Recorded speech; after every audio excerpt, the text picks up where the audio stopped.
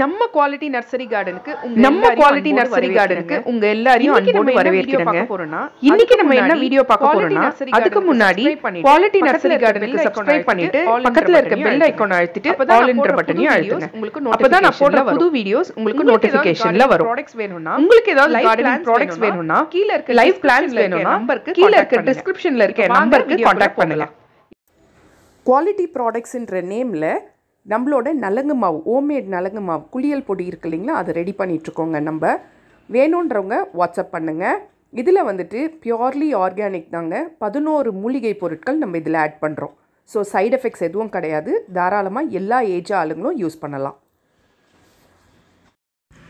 இன்றைக்கி வந்துட்டு ஒரு சூப்பரான ஃபர்டிலைசர் பார்க்க போகிறோங்க இந்த ஃபர்டிலைசர் ஒரு டிஃப்ரெண்ட்டான ஃபர்டிலைசர் கூடவே ஒரு சூப்பரான ஃபர்டிலைசர் ரொம்ப ரொம்ப ரொம்ப எஃபெக்டிவான ஃபர்டிலைசர் அதுவும் இது எதுக்கு கொடுக்க போகிறோன்னா நம்மளோட மல்லி செடிக்கு மட்டும் கொடுக்கக்கூடிய ஒரு சூப்பரான ஃபர்டிலைசருங்க இந்த மல்லி செடியில் வந்துட்டு எல்லா விதமான மல்லிக்கு நித்திய மல்லி ஜாதி மல்லி முல்லை அப்புறம் வந்துட்டு மல்லி குண்டு மல்லி இருக்கு இல்லைங்களா? அதுக்கு அடுத்தது பாரிஜாதம். இந்த மாதிரி எல்லா விதமான மல்லி செடிக்கும் இந்த ஃபர்டிலைசர் ரொம்ப ரொம்ப ரொம்ப எஃபெக்டிவாக இருக்குங்க.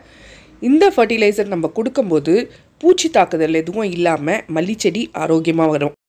ஏன்னா இது வந்துட்டு ஒரு பூச்சி வெரைட்டியும் கூடங்க. கூடவே நிறைய சத்துக்கள் உள்ள ஒரு சூப்பரான ஃபர்டிலைசர் அது என்னதுன்னு பார்க்கலாம் வாங்க. வீடியோவை ஸ்கிப் பண்ணாமல் கடைசி வரைக்கும் பாருங்கள் அதுக்கு நான் ஃபஸ்ட்டு எடுத்துக்கிறது என்னதுன்னு பார்த்தீங்கன்னா தயிர் தாங்க. நல்ல புளிச்ச தயிர் நம்ம வீட்டில் இருந்துச்சு. ஸோ அந்த தயிரெல்லாம் கொஞ்சம் கொஞ்சமாக இருந்துச்சு. அதெல்லாம் சேர்த்து ஒரு கிண்ணத்தில் ஊற்றி வச்சுக்கிட்டேன். நீங்கள் வாங்கி யூஸ் பண்ணிவிட்டு மீதி தயிர் ஏதாவது பேலன்ஸ் இருக்கும் இல்லைங்களா? அந்த மாதிரி தயிர் எடுத்துக்கோங்க. இல்லைன்னா அரை லிட்டர் தயிர் எடுத்துக்கோங்க. சரிங்களா? எடுத்துட்டு இப்போ இதை நல்லா மோர் மாதிரி கலக்கிக்கோங்க. நான் வந்து இதை என்ன பண்ண போகிறேன்னா ஒரு ஏர்டைட் கண்டெய்னர் எடுத்து அதில் சேகரித்து வைக்க போகிறேன் ஸோ இப்போ இந்த ஹாஃப் லிட்டர் தயிர் வந்துட்டு நம்ம வந்து ஒரு பாட்டிலில் சேர்த்துக்கலாங்க. சேர்த்துட்ட பிறகு என்ன பண்ணணும்னா ஒரு ரெண்டு சொம்பு தண்ணி ஊற்றி ஃபஸ்ட்டு அதை மோர் மாதிரி ஆக்கிக்கோங்க. இப்போ எல்லா தயிரையும் அந்த பாட்டிலில் ஆட் பண்ணியாச்சு. இப்போ வந்துட்டு ஒரு ரெண்டு சொம்பு தண்ணி ஊற்றிக்கோங்க சரிங்களா? தண்ணி ஊற்றிட்டு நல்ல மோர் மாதிரி அடித்து கலந்துக்கோங்க.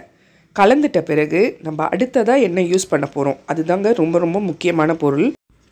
புளிச்ச மோர் கூட இதுக்கு எடுத்துக்கலாங்க. இந்த ஃபர்டிலைசர் செய்யறதுக்கு நல்ல புளிச்ச மோர் கூட எடுத்துக்கலாம். ரொம்ப ரொம்ப எஃபெக்டிவாக இருக்கும். ஆனால் நான் வந்துட்டு இப்போ ஃபஸ்ட்டு எடுத்த உடனே தயிரோட மோராக கலந்துட்டு அதுக்கப்புறம் இந்த பொருளையும் சேர்த்து ஆட் பண்ணிவிட்டு நல்லா புளிக்க வைக்க போகிறேன் சரிங்களா? ஸோ இப்போ நல்லா அடிச்சுக்கோங்க. அடிச்சுட்டு இப்போ நம்ம ஆட் பண்ணக்கூடிய பொருள் எதுன்னு பார்த்தீங்கன்னா தோ இது தாங்க இது என்னதுன்னு பார்த்தீங்கன்னா அரப்பு பொடி. இந்த நாட்டு மருந்து கடையிலலாம் கேட்டிங்கன்னா கிடைக்குங்க. அதை வந்துட்டு ஒரு ஐம்பது கிராம் வாங்கிக்கோங்க. வாங்கி இந்த மாதிரி ஒரு சின்ன பவுல் ஃபுல்லாக அரப்பு பொடி எடுத்துக்கோங்க. சரிங்களா? இந்த அரப்பு பொடியை தான் இப்போ நம்ம ஃபர்டிலைசராக யூஸ் பண்ண போகிறோம் ஸோ இப்போ நம்ம என்ன பண்ண போகிறோம் இந்த சொம்பில் தண்ணி ஊற்றி மோராக கலந்து வச்சோம் இல்லைங்களா? அதில் வந்து இந்த கப்பு அரப்பு பொடியை ஆட் பண்ணிக்கோங்க. ஆட் பண்ணிவிட்டு நல்லா மிக்ஸ் பண்ணி விட்டுருங்க. ஒன்று போல் அந்த மோரும் அந்த அரப்பு பொடியும் மிக்ஸ் ஆகணும். அது மிக்ஸ் ஆக எப்படியும் ஒரு ஃபைவ் மினிட்ஸ் ஆகும். அந்த பொடியோட நெடி வந்து மூக்கில் வரும். ஸோ மாஸ்க் ஏதாவது போட்டுட்டு பண்ணுங்கள் தும்பல் நிறைய வந்துகிட்டே இருந்துச்சு. ஸோ நல்லா மிக்ஸ் பண்ணிட்ட பிறகு இதை என்ன பண்ணுங்கள் டைட்டாக மூடி நிழல் பாங்கான இடத்துல ஒரு மூணு நாள் இல்லை நாலு நாள் விட்டுருங்க. சரிங்களா? நாலு நாள் விட்டுட்ட பிறகு நாலு நாள் கழிச்சு பார்க்கலாம். இந்த ஃபர்டிலைசரை காலையிலையும் சாயந்தரமும் டெய்லி குலுக்கி வச்சுருங்க. அப்போ தான் வந்துட்டு மோரும் அருப்பு பொடியும் நல்லா மிக்ஸ் ஆகும். சரிங்களா? ஸோ நல்லா குலுக்கி வச்சுட்டு மூணு நாள் இல்லை நாலு நாள் விட்டுருங்க. அப்போ மோர் நல்லா புளிச்சிரும். புளிச்சிட்டு தான் நம்ம இந்த ஃபர்டிலைசரை நம்ம செடிக்கு கொடுக்க போகிறோம் ஸோ இப்போ பார்த்தீங்கன்னா நாலு நாள் ஆயிடுச்சுங்க. நம்ம தோட்டத்துக்கும் எடுத்துகிட்டு வந்தாச்சு. ஸோ இப்போ நல்லா குலுக்கிட்டு நம்ம ஓப்பன் பண்ணி காட்டுறேன் பாருங்கள் ஓப்பன் பண்ணும்போது கொஞ்சம் ஸ்லாண்டிங்காக வச்சு ஓப்பன் பண்ணுங்கள் அந்த கேஸ் ஒன்று ஃபார்ம் ஆகிருக்கும் ஸோ அதனால் ஸ்லாண்டிங்காக வச்சு ஓப்பன் பண்ணுங்கள் இந்த பாருங்கள் எப்படி நுரத்தள்ளி இருக்குன்ட்டு ஸோ இந்த அளவுக்கு நுரைச்சிருக்கும். இதை வந்துட்டு நம்ம அஞ்சு லிட்டர் தண்ணியில் கலந்து ஊற்றணுங்க நல்லா டைல்யூட் பண்ணி கொடுக்கணும். சரிங்களா? இதை வந்து வேர் வழியாகவும் இலை வழியாகவும் தெளித்து கொடுக்கணும். இப்போ உங்ககிட்ட பூவாளி இருந்துச்சுன்னா அதில் ஊற்றிட்டு நல்ல வேர் வழியாக இலை வழியாக அப்படியே கொடுத்துட்டு வரணும். இல்லையா? நீங்கள் வந்துட்டு ஒரு மக்கு வேருக்கு கொடுத்துட்டு இன்னொரு மக்கு வந்து ஃபுல்லாக அப்படியே இலை மேலே ஃபுல்லாக தெளித்து விட்டு ஊற்றணும் பெரிய செடியாக இருந்தால் ரெண்டு மகு கொடுங்க சின்ன செடியாக இருந்தால் ஒரு மகு கொடுங்க. எல்லா விதமான மல்லி செடிக்கும் கம்பல்சரி கொடுங்க. இதோட ரிசல்ட் எப்போ தெரியும் அப்படின்னு பார்த்தீங்கன்னா ஃபிஃப்டீன் டேஸில் ரிசல்ட் உங்களுக்கு நல்லா தெரியும். இதை எப்போ கொடுக்கலாம் அப்படின்னு கேட்டிங்கன்னா பதினஞ்சு நாளைக்கு ஒரு முறை இந்த மாதிரி அரப்பு பொடி ஃபர்டிலைசரை வந்துட்டு நம்ம மல்லி செடிக்கு தாராளமாக கொடுத்துட்டு வரலாம். சரி இப்போ இதில் என்ன இருக்குது என்ன நியூட்ரியன்ஸ் இருக்குது ஏன் நம்ம வந்து இந்த ஃபர்டிலைசர் கொடுக்கணும்னு பார்க்கலாமா அரப்பு பொடி வந்துட்டு ஃபஸ்ட்டு ஒரு கசப்பு தன்மைங்க இருக்கும். ஸோ நம்ம என்ன பண்ணுறோம் அந்த மோரோட கலந்து நல்லா புளிக்க வச்சு கொடுக்குறோம்.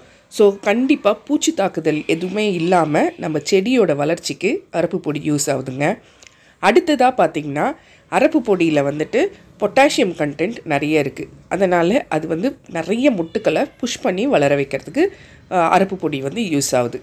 அடுத்ததாக நம்ம மோர் ஆட் பண்ணியிருக்கோம். மோர் வந்துட்டு எப்போவுமே நம்ம செடிக்கு வந்து ரொம்ப நல்லதுங்க. புளிச்ச மோர் கொடுக்கும்போது என்ன ஆகும்னா அதில் நிறைய விதமான நுண்ணுயிர்கள் பெருகியிருக்கும்.